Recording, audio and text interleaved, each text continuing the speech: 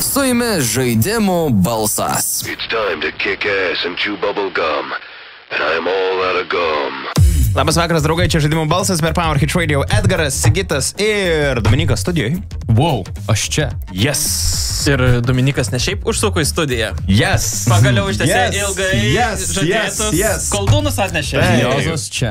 Taip. Taip, kas stebėt mus per powerhitradio.lt, aš prieš kamerą parodysiu, tik tai nenoriu išvirsti viskam pulto. Um, čia Jau, realiai jau, jau griūna. Dominikas atnešė koldūnų, čia yra ryžių, čia yra salotų, ką- kokia čia salotas, kaip vadinasi? Čia yra vakami salotas. vakami salotos. Jūros dumbliai. Taip. Yes. Su morkom ir Tai Dominikas ištesėjo savo padažą ir jis mums, Sigitas jau savo suvalgė. Pažadą. Ištesėjau savo. Jo. padažą. Ir Sigitas tiesa jau suvalgė, skanu buvo. Šiaip labai skanu. kai ragavau, tai man tai labai patiko. Tikiuosi, Kodėl? Dominikas Gumelis neįdėsi tam. Kodėl?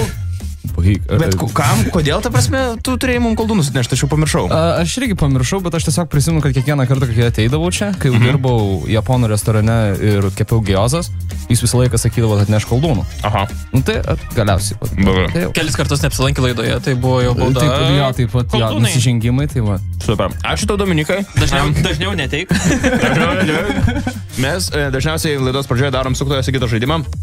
Bet naujienų nepatikėsit, bet trečią savaitę išlės yra maždaug apie 1 milijoną 3 tūkstančius. Dėl to mes pradėsim iš karto nuo naujienų. Pirmoji yra, kad kompanija Acer pristatė 14 tūkstančių eurų kainuojančią gaming kėdę. Čia 6 tūkstančiais pigesnė kėdė nei buvo prieš tai. Okay. Mm. Tai čia budget variantas, reiškia. Čia jau. 6 tūkstančiai pigiau visai gerai. Čia tokia Taip. light. versija. tai iš esmės e, gauni tris monitorius, e, gaming kėdę, kuri gerai reguliuojasi, ten visi monitoriai virš tavęs e, nusileidžia priešais tave, klaviatūros laikiklis, pelės laikiklis, įeina ir kompiuteris pats, kurį gali modifikuoti, dar sako, galima sakyšti iki 20 tūkstančių, kas galiausiai jau nebe light gaunasi. Okay. Tai iš esmės tai naujesnė ir šiek tiek pigesnė versija to Acer Um, Kaip jis? Tronas. Tronas, jie, yeah. kur, kur, būdavo, kur buvo Gimon Lamparty, net buvo Jo, galima tai mes, mes su Dominiku matėm, bet Yep. mes kai gyvai matėm tą visą kėdę, tai ten toks, čia įsivaizduokit, ne tiesiog įsivaizduokit Tokia paprastą kėdę. kapsulė. Taip, čia yra kaip kurie realiai, realiai, jeigu tu norėtum ją pastatyti pas save namie, tai tau reiktų... Kambario. Jo, Nu, šiaip jo, atskiro kambario Atskiro kambarį, kad, nes tu ten sukinėjęs ir ten... Wow. Čia mano vaiko kambarys, jie Taip, vieną kapsulę per vidurį. Um, bet aš vis dar manau, kad jos tiesiog truputėlį yra overpriced. Bet žiūrėk iš tos pusės, kad e, visgi, jeigu leidžia naujas, reiškia seną pirko irgi.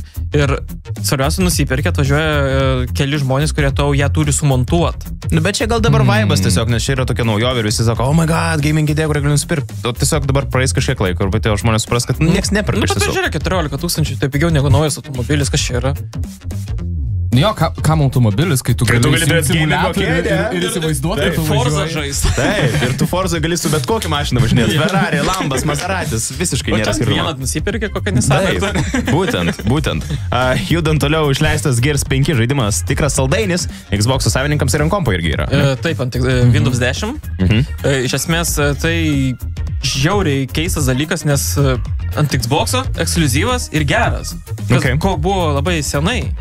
Ir e, įvertinimai apie devynetą. Ir tiek e, kompanijos režimas, istorijos režimas, tiek multiplayerio režimas yra žiauriai tikrai geri. Ir e, kas nori, gali jį išmėginti tik tais už 2 baksus. Aš jau džiau... Kodėl aš taip? Ai, su to Passu Xbox Pass okay, galima užsisakyti okay. dviem mėnesiams už 2 eurus Okay. arba 2 svarus.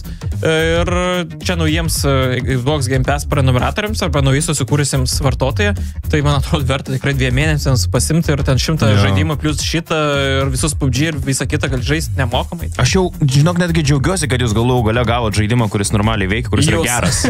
nu, Xbox savininkai ir kompų gerų Nu, tie savininkai. keisti. Taip, tie, tie Tie keistuoliai. žali. Tie žalieji. Kažkokie, žalieji. Žalieji vis daug kas yra žalieji. Žalgiris žalias. Lietuviai šiaip būna žali. Yra daug žalių dalykų Taip. pasaulyje. Taip. O šiaip, o šiaip dar e, bus vienas, vienas praktiškai žemėlapis kompanijos režime, kuris yra 50 kartų didesnis už bet kurį prieš tai Gears uh, 4 buvusi žemėlapį. 50 kartų. Aš žiūriu žaidimų, Ir esmės Tai žai- open world. Ta- Žaidimų, kurie labai mėgsta visą laiką pabrėžti tai. Bus 50 kartų didesnis žemėlapis. Jo. Visą laiką būna žemėlapis didelis, tai jie taip mėgsta pabrėžti. Ir į Ten mo- dešinę pusę 5 km dykumos. Taip, čia su GTA 5 buvo kažkas panašiai, kai išleido, ten sakė, jis irgi kiek kartų yra didesnis negu Nu, San Andresas. ar- išėjo, visi buvo patenkinti. Nu, bet Tai ne, tai be abejonės, jo. Gyvas, pilnas pasaulis, bet kitur būna tai... Koks yra didžiausias žemėlapis? Ne E, Odisėja?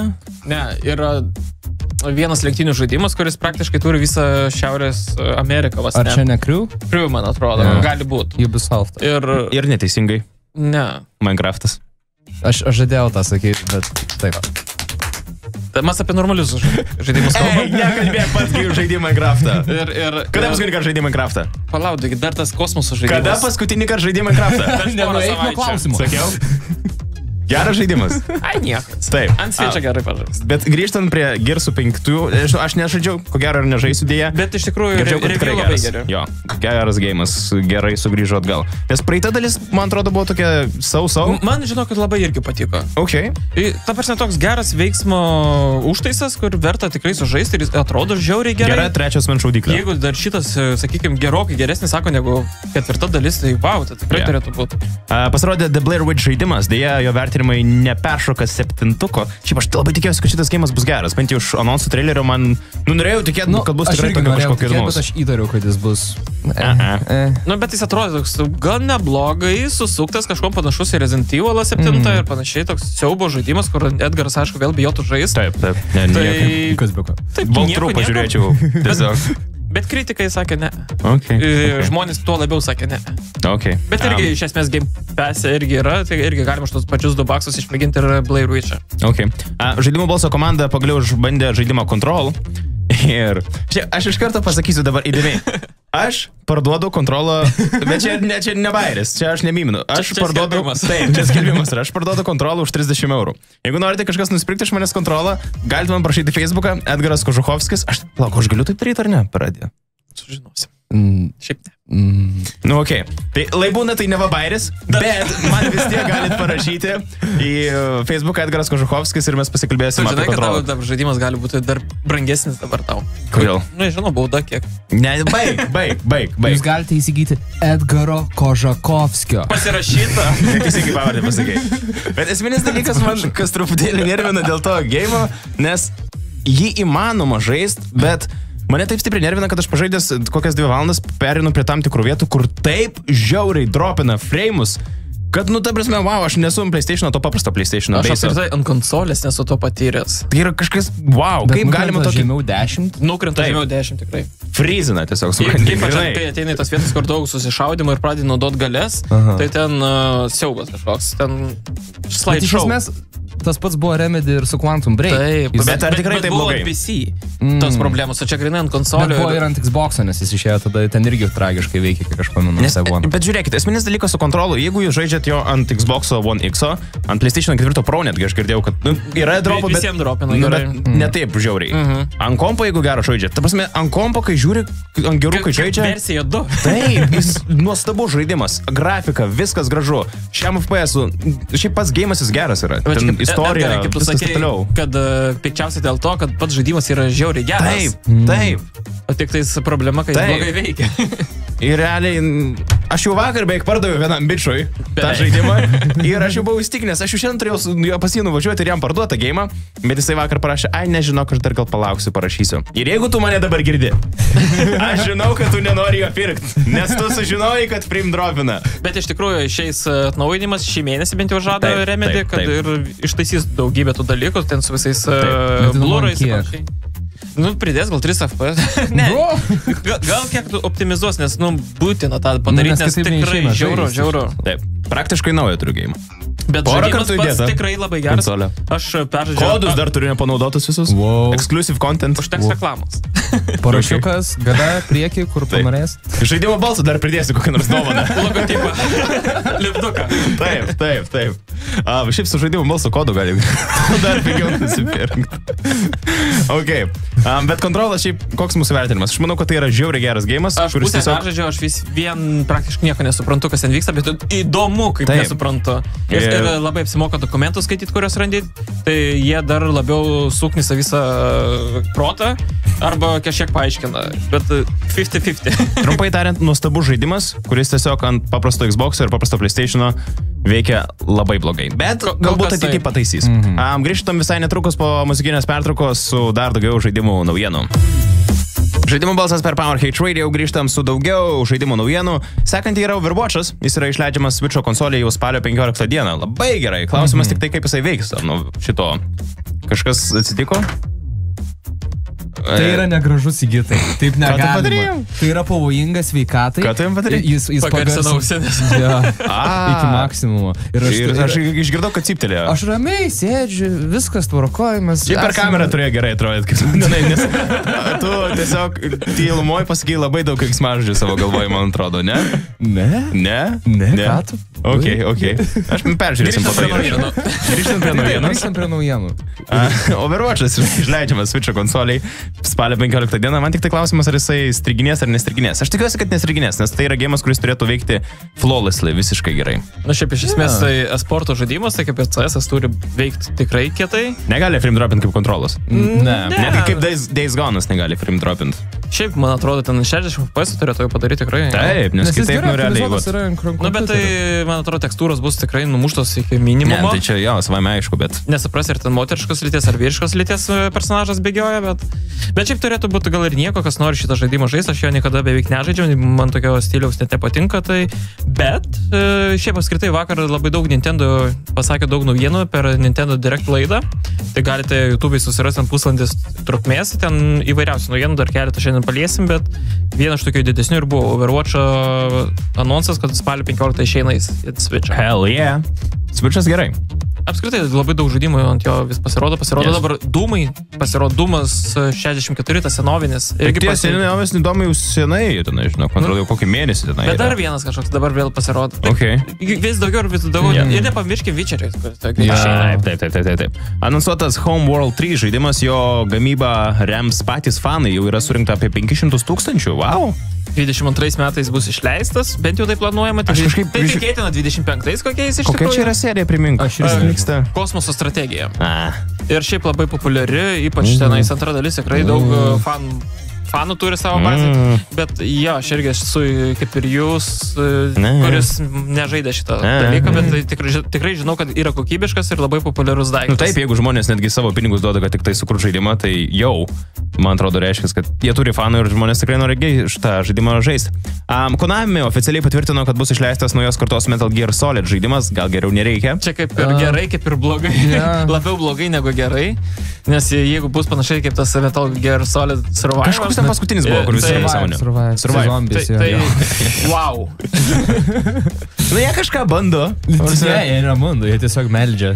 Aš manau, kad jo, jiems reiktų tiesiog pamiršti jau tą seriją, nes, nu, bet kaip, jie nusipirkė tą seriją, yra, tai jiems nu, neapsimoka Ne, ne, pamiršti. jie jie, jie priklauso. Jie priklauso tiesiog. Ti- Tiesiog leis žaidimą, kurio veidas buvo Hideo Kojima, o jo nėra prie vairo, tai kažkaip, hm, nežinau.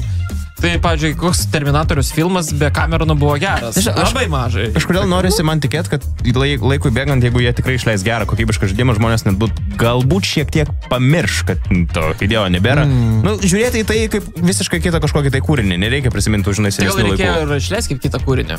Bet, nu, taip. čia Jo. visi Metal Gear uh, fanai tai ir nori gal to tesinio. Jo, Šiaip įdomu, ar tas naujas tesinys jų bus e, kaip ir šeši, vos ne? Ar tai vėl bus kažkoks survive? Niekas nežino, man Battle atrodo. Royale. Kortų žaidimas. Metal Gear Solid. Taip, taip, taip. Taip. dabar Tetris ant bangos, gali būti Metal Taip. Gear Tetris. taip. Gal pikpongas išeis į man. Um, kalbant apie labai geras naujienas ir čia rimtas, Cyberpunk 2077 atsisako trečiojo asmens vaizdo ir vaizdo interpose tų visų. Ai, nu, ta prasme, esminis dalykas, kad cy... pradėkim nuo to iš vis, kad Cyberpunkas padarė video, kur 15 minučių atrodo gameplayų parodė ir dar po to, kurie atsakinėjo visokius klausimus. Taip. Ir tai buvo Nuostabu. Dabar aš neturiu žodžio apie tą žaidimą. Aš žiūriu tiesiog ir galvoju, kaip bus gerai. Ne dėl to, kad galbūt jisai grafiškai yra kažkas neįtikėtino, ne dėl to, kad ten gameplayus kažkoks yra groundbreaking, bet koks jisai yra gilus. Bet, pažiūrėjau, ta prasme- paminėjai išvaizdą. Man kažkaip dabar šitam kartą atrodė šiek tiek prašiau negu seniau. Ai, tu- man žinau, kaip tik geriau Man atrodo, downgrade'intas toks. O ne? Man pasirodė, tai Ei. Man atrodo, tiesiog skirtingi apšvietimai ir Tu gal žiūrėjai gal. 408p? 200. 200 jau, nu tai va. Nes, nežinau, man pasirodė grafika, viskas ten gerai. Ir man labiausiai kas užstrigo, tai kad tas žaidimas atrodo žiauriai gilus. Tu ten gali pasirinkti. Ten prasme, jo, istorijos vingių visokiausių. Tu gali nuhakinti kito žmogaus ranką, Taip, ten, ta prasme, gali visą žaidimą pereiti tiesiog nieko nenužudydamas, net, nu, ta prasme, vien kaip tą sukurt. taip. Ir vis tiek, kad tos istorijos kažkaip susipina ir mm. vis tiek siejasi. Ir Buvo tas... naujiena ta, kad ir net per visus e, video, kur anksčiau dabar rodo per E3 ir panašiai, kad e, iš trečio asmens jų nebebus, e, bus pirmojo asmens viskas. Taip. Tai ir net, kaip čia visur dabar kalbama, kad net seksas bus pirmas asmens perspektyva. Oh, yeah. Tai ir dar viena didelė naujiena buvo tai, kad Red, uh, CD Projekt Red uh, lieka dviejų serijų komandos. Tai reiškia, kad vieni dirba prie Witcherio, mm. kiti prie Cyberpunko. Teisingai. Tai, o tai reiškia, kad bus naujas Witcheris. Taip. Tai irgi yra gerai. Tai man atrodo ta pati visata, aišku, be Geraldo tikriausiai tas bus, bet... Mm. Uh, Turbūt su Siri. Yeah. Cyberpunkas išeina balandžio mėnesį, 2020. Taip. Yes. Tai realiai jau, nu, po truputėlį vis lieka mažiau laiko. 200 kažkiek dienų. Taip. Man kas patinka, kad jie dar kažkaip, jie kaip ir, Nieko nesako, bet kaip ir jo. parodo kažkiek patys. nu kaip jie šiaip sako, man atrodo visai normaliai, bet žinai, kaip nėra, jie, jie neišeina ir sako, čia bus geriausias visų yeah, laikų žaidimas. Nėra No Man's Sky to tokio Taip, filmo, kad čia bus taip. kažkas Pa, labai pamirškit. GTA. Taip, jo, jie to nedaro, bet kažkaip vis tiek yra toks jausmas, kad čia bus kažkas neįtikėtino. Nu, gal tiesiog čia jau medijos visos taip užhypino tą gėjimą. jeigu e, starto dieną išleistų GTA trailerį. Po Cyberpunko dieną? Ja, ir, vis, Wow. ir visi taip pamiršta Cyberpunką, kas čia toks. Dieną prieš Cyberpunko išleidimą, pam, GTA 6.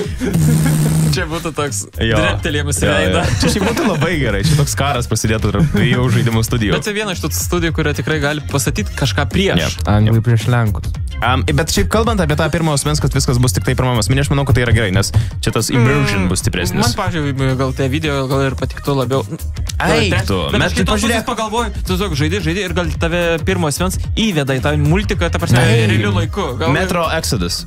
Visą laiką irgi pirmas asmo. Tokiais, ai, šį kartą kalbėjo kažkada. Metro visą laiką būtų pirmas asmo. Half-Life net nėra pagrindinio herojus balso ir Taip. tai viskas super. Taip, ir aš manau, kad tu dar labiau tada įsiliesi į tą istoriją ir tai yra amazing. Judant toliau, Crytek CryEngine 5,6. Ar čia taip, čia taip turėjo būti? 5,6 demonstracijoje yra užuominų apie Crysis Remastered versiją. Iš esmės, tai CryEngine'as žiauriai gerai atrodantis e, grafikos varikliukas ir Crysis atsimenam, kaip labai gerai atrodė. Yes. Ir tame pristatyme varikliuko iš esmės yra tokių vaizdų, kurie grinai paimta iš Crysis ir tiesiog perkurtant naujo varikliuko. Okay. Tai kaip ir gal laikas išleis Crysis remastered. O tai gal naują tada? Tiesiog. Ne, Tai gal to ir to? Ką čia apsiribot? O remasterį kokį trečią darys tada?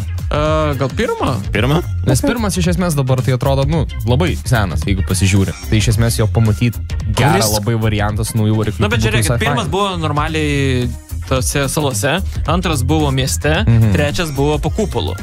Tai, o ten okay. grinai yra salos vaizdai, tai tikriausiai tai aišku pirmas. Bet gerai, aš tai manau, kad faina būtų pažaisti, nes, bet įdomu, ar jie dabar tą remasterį padarys tokį patį, kaip kažkada buvo Crysisas, kai jis tik tai išėjo, kai ten jisai sulauždavo kiekvieną kompą. Tai turėtų galbūt. Aš manau, kad jie... Next kaip gen ir- graphics, photorealistic. Bet jie būtinai... Immersive Taip, experience. immersive experience. To ir ground. siekdavo pastovi, kad būtų geriausiai Atrodantis, atrodantis jo, daiktas, nes rūkė tai reikalauja resursų. Yes, let's do that. Ir be to, kontrolas, e, kad veiktų 8K, e, gerai su FPS, reikia 18 GB video atminties. Hmm. Tai yra kažkur apie 2,5 tūkstančio kainuojanti vaizdo kortą. Nu, bet tu čia, kiek čia 8K, kad būtų? Nu, bet gerai, 8K yra daug. Realiai. Nu, prasme, Tai gal ir negali net pykti. Keturis kartus daugiau negu 4K. Spėk, kiek kainuoja 8K televizorius. Tiksliai nepasakysiu, bet labai daug. Kažkiek ten... Septynė, ne, aš ne- nežinau, bet, bet man atrodo apie aš spėju- 70 tūkstančių. Bet spėjau mažiau negu Acer nauja kėdė. Taip, taip, tarp kitko, taip, taip, taip. Uh, Saints Row 5, Dead Island 2 ir Metro žaidimai bus Epic Game Store ekskluzyvai. Ta galim buvo jau numatyti nuo Taip. Metro Exodus, kad ir apskritai, man atrodo, jau laikas pamiršta no Steam, no buy reikalą. Kuo daugiau, tuo daugiau, tuo daugiau žaidimų išeis tikrai ant Epic vien ir aplenks Steamus, nes pripažinkit žmonės, 30 procentų atiduot savo uždirbtų pinigų kompanijai, kuri tiesiog yra tarpininkas. Mm, Neapsimoka. Jep. ta prasme tikrai nesažininga. Taip. Uh, The Witcher 3 buvo parduota daugiau šių metų pradžioje nei praeitų metų pradžioje. Čia- Čia, čia šiaip labai crazy statistika. Bet jo pardavimai didėja jam senstant. Bet tai normalu, nes gal žmonės tiesiog sužino apie Cyberpunką ir galvoja, koks čia wow crazy to gėjimas. pačiu labai atpigę. Nu, Jo, jis kainuoja ten 5 gal. Žiauriai, jeigu pigiai gauti, tai dabar galima už 10 eurų pagrindinį žaidimą. Mm. Games of the Year Edition, sakykime, 15 eurų. Ir tai nėra labai pigu. Tai yra Pas, pavyzdžiui, Battlefield 1 ten galėdavo už 2 eurus nusipirkti. Nu, Na, jo. tai Battlefield 1. Bet, Bet tai, jo, tai Battlefield. bet jis dar naujesnis ir dar tikrai populiarus buvo. Witcheris geras gėjimas, jis geresnis negu Battlefieldas. Nu, jo. Milijoną kartų maždaug. Čia bandai lyginti nesulyginamus dalykus. Taip. Nu, tai tame ir esmė, kad aš manau, kad visai netgi galima tikėti tą statistiką ir tai yra visai, visai e, logiška. Ir apskritai serialas jau artėja. Ir, Jis lygiai dar serialas ir bus. vienas uh, iš kuriejų pareiškė, kad uh, labai tikėtina, kad lapkričio pirmą jau sulauksim pirmos serijos. Čia pirmos serijos? Pirmą sezoną, nes tai Netflixas viską paduoda iš karto. Super. Visai netrukus grįžtam su dar daugiau žaidimų naujienų. Čia žaidimų balsas per Power Hit Radio. Grįžtam su dar daugiau žaidimų naujienų. Atgimstanti The Settlers serija naudos The Division 2 varikliuką Snowdrop. Kas tie settleriai, neatsimenu Tu tai papasakok, kiek gerai apie tai. Settleriai kas yra? Ne, apskritai, čia ta naujiena. Kas Snowdrop, tas varikliukas, aš šiaip girdėjau, kad jisai yra Aš šiaip geras aš reikalas. tau ryte atsinčiau skriptą, tai man jau pasirašai. Klausyk, Kas čia dabar yra? Galėtų jam užgarsinti, prašau, ausinės šitam vėžliui. Eik, eik, eik, eik, eik. Ne, jeigu atvirai kalbant apie šitą žaidimą, tai šiaip labai gera strategija. Ir tokia ekonominė strategija, nu, savo kaimą ten valdai ir panašiai, aš atsimenu žaidimą. neįdomiai skamba. Se, senasis dalis, šiaip iš tikrųjų Naudoji labai... savo kaimą. Ei, tu, tu naujos kartos milenimas. Tai e, šiaip iš esmės Minecraftas. kartais aš jūsų šiek tiek nekenčiu. tai va, tai, yra video, kuris tikrai parodo, kad žaidimas atrodo labai moderniai ir labai gražiai. Ir man atrodo, tai vienas iš tų realaus laiko strategijų, kurių verta labai laukti. Ir antras žaidimas, ku- kurio labai irgi realaus laiko strategijų verta laukti, Red Alertas atkurtas, remastered. Na, šitą jau girdėjau. Ir, Šitą ir. Warcraftas Jo, jo. trečias irgi. O. Va, va, va, čia va O. tokia realus laiko strategijos šiek tiek sugrįžta. Ok, ok. E, Capcom jau dirba ties nauja Resident Evil dalimi. Gandai teigia, kad bus keturių žaidimo koop režimas. Nesąmonė. Ir why? Tarsi, kaip gali būti siaubo žaidimas keturių žmonių koopas? E, Čia tas pats, kas eiti ir siaubo filmą žiūrėti su draugais. Čia kaip Fifty čia- Shades of Grey ir su robotai. Jo, čia... Nu, vėl tu. Čia šiaip bairis, ta prasme, yra, kad taip žais smagu, bet... Ne, man siaubiakai yra ta prasme, skirti sep- išgąstis. Septinta dalis buvo žiauriai stipri, Jo. nes tu grinai vienas koridoriuje ten iš, išlenda ten vaiduoklis. Ir gerai vaiduok- istorija ir įsijauti Jo. atmosfera. Ai, Edgaras negali, nes jis nežaidęs, bet Aš mačiau visą walkthrough. Aš kiekvieną siaubo žaidimą dažniausiai aš, pasižiūriu aš, aš įsivaizduoju tave naktį, ankodė užsimetęs ant viršaus, Tai šiaip susisuk. Panašiai taip ir yra. Taip. Taip. užsiksdegęs, dėl Da, sako, paprašau, kad draugė mane. Taip. draugė mane dar apkabina tada, aš šiltą pieną pasidėjęs ir žiūriu tada per laptopą. Taip. Ir aš, tai, Tai būtent va taip ir reikia žaisti tokius žaidimus. aš neseniai tą Men of Madan tai pažiūrėjau ir buvo nuostabu. Aš nieko nepraradau ir aš nebuvau užgąsdintas. Nu gerai, porą kartų išsigandau šiek tiek, bet tik tai buvo tik tai porą kartų. Bet aš, Man of Medan, da, laukiu, kad norėčiau sužaisti, dar, dar. Visai smagus. Ateis jam laikas. Pačiam galėtų, žinok, žinai, kas būna? Ne, nežinau ir nenoriu žinoti, dabar apžvalga. Kas laive vyksta visas e, veiksmas. Tai va. Ai, be to, žaidimo balsas paleis ne greitai Control apžvalga, Medan O. Medan apžvalga, tai čia bus rugsėjo daug apžvalgų. Ant Control, ne, kaip tik labai neblogas vertinimas. Ok, bet pasakysit, kad. Nu taip, Ant kai kurių men- konsolių. Perspėsim žmonės. Optimizacija. Taip, taip, taip. Priklauso ant ko žaidėm. Taip, taip, taip. Um, Steam po truputį atnaujina savo išvaizdą, naujos bibliotekos testai prasidės rugsėjo 17 dieną. Iš esmės šiek tiek atsinaujino išvaizdą, būtent kur žaidimų visas sąrašas, nes, nu, pripažinkime, vis dabar kaip Wordo turinys. Nu, jis visiškai nieko gero netrodo. Tai būtent šiek tiek pagražės ir žmonės galės patestuoti ir savo atsiliepimus siūsti ir pagaliau gal Steamas atrodys kiek moderniau. Atrodys, grįžti į 2019 metus, ne? Nes, nu, Steamas, jo pirmas puslapis atrodo, ko gero moderniausiai, nes kaip Facebook'e tu gali scrollinti ir scrollinti. Yeah. Taip, taip, taip, taip. taip. O būtent visa kita tai gan senovinis. Tiesą pasakius, Nu, neatsimenu, jis patogus, bet jau, jau Ne, jis matytas. funkcionalumu tai jis neprilykstamas, bet e, būtent išvaizdos prasme tai epikai ir tiek. Ir Mm, jų, yes. jų, jų plays, ko gero geriausiai atrodo tai parduotuvė man. Hmm. Mhm. Hmm. Tai mm. va dar apie Ubisoft parduotuvę dar pakalbėsim. A, gerai, bet prieš tai apie Jakuza 7 žaidimą, kuris sugrįžta su nauja vieta, naujais veikėjais ir netgi galbūt nauja kovos sistema. Ne, Yakuza ne, šiaip- būtent te, kojo, kovos sistema ir yra didžiausia naujiena. Šiaip pas, pa, paskutinis buvo tas Judgment, jų žaidimas. Judgment buvo, kur tu žaidži už tokį detektyvą, kuris nėra Jakuza serijos, bet ten yra labai panašiai, tam pačiam Jakuza žemėlapį. Tai viskas. aš nesu ne vieno žaidės. Judgmento? Tai jis Ne, neseniai ne, išėjęs. ne, Jakuzas apskritai A, Aš Aš, irgi. nu, aš, nu, palauk, aš esu vienas žaidėjas, jie smagus tokie, bet jie labai savotiškai. keisti. Jie, Nes aš jie... mačiau, jie, O dabar, jie crazy. dabar nauja Taip. kovos sistema bus kaip Final Fantasy. Tu iš esmės e, pažymėsi priešininką ir pažymėsi, ką jis atliks ir tokia turn-based Hmm. vos nesigauna ir kažkaip net, ta prasme, kaip persona, sako, labai panašu. bus. Okay. Tai visiškai pasikeičia nuo praeitos dalies, bet būtent, e, pavyzdžiui, naujas miestas e, gerokai didesnis bus negu prieš tai. Tai Okay. savi pliusai, savi minusai. Okay. Um, Nintendo Switch gauna SNES žaidimus ir SNES valdymo pultą. E, Čia tas sen- seną, seną, seną tokia, ne? Čia būdavo Nintendo Entertainment- Enter- Entertainment System, tai Aha. NES, ir paskui atsirado super versija, tai SNS. Tai būtent e, pultas visai fainiai atrodo ten, iš esmės e, replika būtent kokia buvo, Mhm. o patys žaidimai irgi ten tikrai tokių gerų žaidimų, senų, bet gerų. Čia būtent tie, kurie užsisakė Nintendo Switch e, Nintendo Online paslaugą. Tai gali ten žaisti tos senuosius žaidimus ir būtent ta A, biblioteka jo, vis didėja. aš mačiau, kad yra ten tas visas, kur galėsi Tu su Mario Makeriu turi tą online. Taip, tai taip, taip, taip, Ir labai apsimoka, iš tikrųjų, tos senus tikrai gali sužaisti ir labai neblogai yra ten žaidimas. aš vis nesisiuntysiu, šiaip reikės O išbandyti. būtent tos senus žaidimus, tos senų pultų visai gal ir gerai. Nu, prisijungi prie teliko, viskas každama į, ne, ne, be HD tai yra. Jeigu senais laikais tai būdavo per anteną, dar reikėtų tai pajungti. Ne, nu čia jau iš vis klasika būtų. Ir per šilelį tą maželį. Tu ras dar šilelį veikianti. Aš turiu. Tu visi Ja, viską važiuojat, paliečiau, paliečiau, paliečiau karštą temą dabar jau. Ar žinai, kad šilelis vis dar Žmonės egzistuoja? skambina į studiją ir rašinėja, žinutės, visiems veikianti šilelį. Čia kaip kažkurį kartą per savo laidą šnekėjau apie senus telefonus ir netyčia paminėjau Pasakė, kad Nokia nebėra. mygtukinius ir ten pasipylė Nokia 330, ten žinai vis dar veikia. Baterija nustabi ir taip toliau. Bet ne apie Nokijas, bičiuliai. Kalbam apie Uplay Plus prenumeratą. Tai Tai čia- bus toksai reikalas.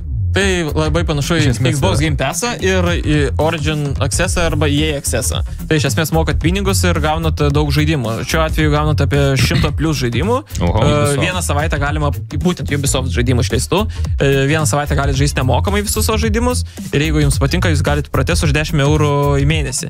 Tik, pavyzdžiui, labai visus nu- nuvylė, kad nėra ANO naujausio žaidimo. Čia tų strategijų. Nu, iš, iš tų strateginių, Iš tų kurios, strategijų. kurios labai mėgsti Taip, taip, taip, kabutėse. taip, taip, taip, taip. Bet šiaip e, super kokybiškas tas žaidimas ir dėl to labai gaila, kad jo nėra, bet, pavyzdžiui, Divisionus visus ir ateinančius tos... Uh, O tai ir naujus žaidimus iš taip, karto? taip, taip, taip, būtent. Okay, Ir okay.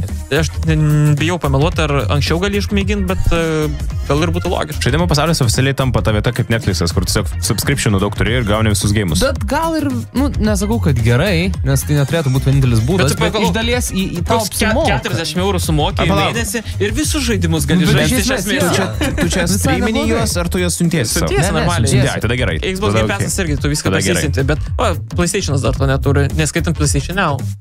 PlayStation Now, Nu, tu galėsi PlayStation. Now, tu streamini. Ne, Ne, tu gali jau, jau, jau gali bet, atsisiųsti. bet jo. mažai tų žaidimų, aš turėjau. jų nėra daug. Bet aš tai daug. PS4 jau žaidimai atsirado. Nu taip, bet mažai.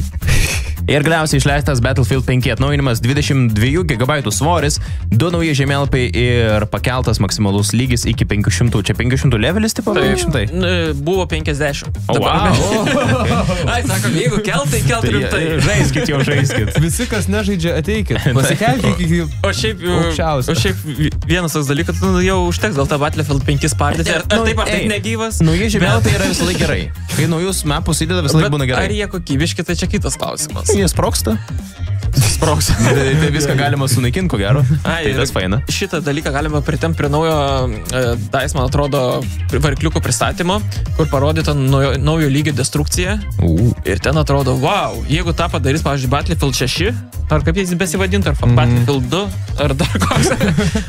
tai būtent, e, jeigu tą varikliuką pritaikys, siaubas kaip gerai atrodys. Ten granai Look gali daiktus gabalais pjausti, ten šaudyti, ten, Wow. pavyzdžiui, pašauni dvi kojytės, ant kurių laikosi, sakykime, vamzdis, tai jis palinks, ant kitas šaudai jis nugriūna ir tada gali kaip savo už ten kažkokią bunkerį pasidaryti. Nu, vienu žodžiu, tikrai super atrodo. Bet iš dalies man tokia... Pagaliau destrukcija va tokia rimta, iš tikrųjų de destrukcija, ne kaip seniau, kad nu, tu gali sienos e, sušaudyti, visi kampai konstrukcija mm -hmm. lieka, ten gali jau gabalais kiekvieną plytą. Geras. Šiaip reikėtų, kad ir daugiau kas, tu pažvelgtų dėmesį ne į grafikas, o grinai kažkokį Ei, nu, bet arba... tas pats čia kontrolas. Jis irgi šiaip žiauri gera ten destrukcija. Tu ten gali labai daug sunaikinti, kai tu kovoji prieš kokiausius bosus. fizikos šiaip. Ten, Taip, ir ten viskas gerai. Bet jis labai blogai veikia Ne, nu, PlayStation. nu, tam- tam. PlayStation. Sakyčiau, tai kaip žaidimas jis prastai veikia, kaip uh, PowerPoint prezentacija, tai labai puikiai. Nuostabiai. Nuostabiai. 10 su pliusu. Bičiuliai, viskas. Čia buvo žaidimų balsas per pavarį. Susigirstam, į- susigirdim. Susigirstam. Susigirdėsim kitą ketvirtadienį ir turėsim svečių. Ir neturėsit manęs. Taip. Ir po to Dominikas grįš vėl su kuldonais. Taip, taip, taip, taip, taip, taip, taip. Su jumis žaidimų balsas.